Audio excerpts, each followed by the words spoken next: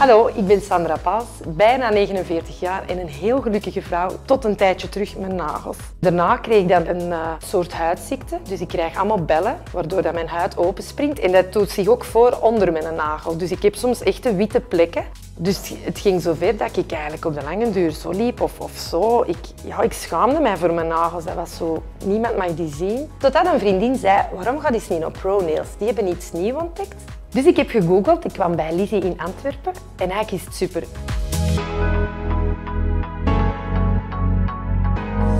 Ze doet eerst een manicure, zorgt dat je nagels proper zijn. En dan legt ze er een serum op en dat zorgt ervoor dat je nagels goed gevoed worden en extra groeien. Dan komt er een dun vliesje op en dan kies je een kleurtje. Bij je noemt dat So Polish. Ja, en dat is super, hè? dat wordt dan uitgehaard in de lampen en je gaat perfect buiten.